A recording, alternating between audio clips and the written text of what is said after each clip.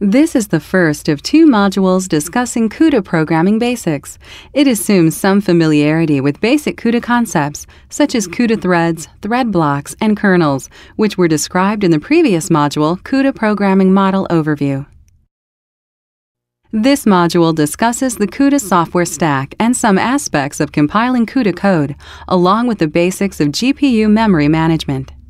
Only the basics of CUDA programming are presented in these two modules. For additional features of the CUDA API, please consult the CUDA Programming Guide.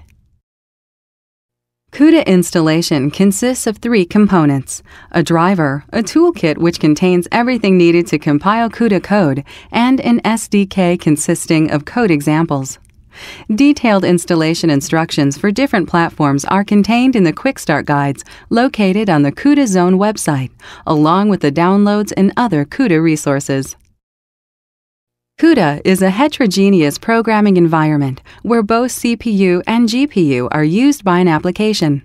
The developer can write a single source file containing both CPU and GPU code, where the CPU code can leverage a variety of CUDA optimized routines, such as those found in the BLAS and FFT libraries.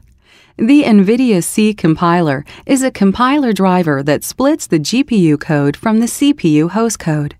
The CPU code is compiled by the native host compiler, and the GPU code is compiled into PTX, or Parallel Thread Execution Object Code. This slide represents the compilation path of CUDA code. Any source file containing CUDA language must have the CU extension and be compiled with NVCC. NVCC is actually a compiler driver that invokes all the necessary tools and compilers for both CPU and GPU code. Although not the default case, one can specify via options to NVCC that CPU C code or device PTX object code be generated. PTX object code is an intermediate device independent representation that is then compiled to the particular device. CUDA executables contain the PTX code in addition to target code, so that new target code can be generated on the fly when the executable is run on a device different from what it was compiled for. There are four different build configurations one can use when developing CUDA code. Using NVCC with no flags builds release mode. The dash G flag can be used to build debug mode. The dash device EMU flag builds device emulation mode, where all code runs on the CPU, but the executable contains no debugging symbols.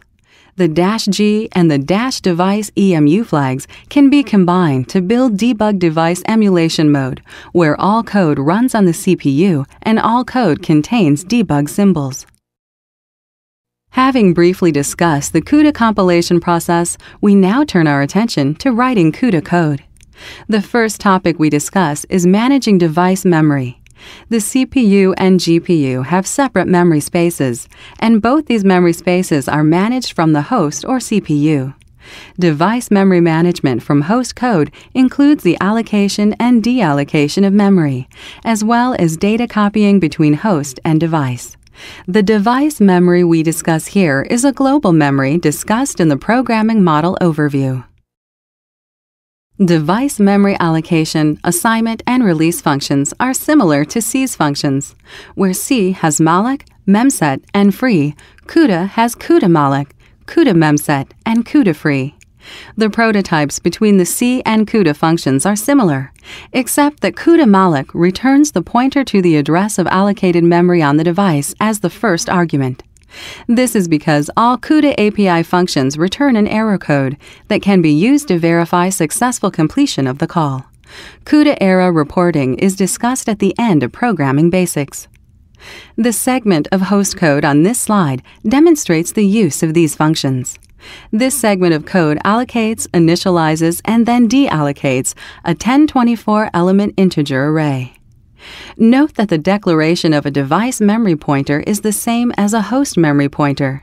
In order to distinguish between pointers to device and host memory spaces, programmers often choose variable names with D and H prefixes or suffixes.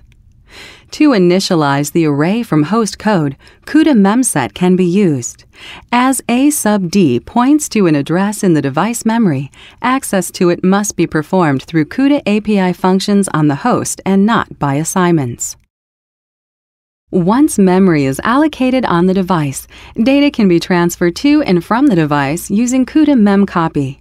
The first three arguments to CUDA memcopy follow the format of C's memcopy the destination memory address, the source memory address, and the number of bytes to be transferred. The last argument is an enumeration that indicates the direction of the transfer in terms of the host and device, and can take values CUDA memcopy host to device, CUDA memcopy device to host, and CUDA memcopy device to device.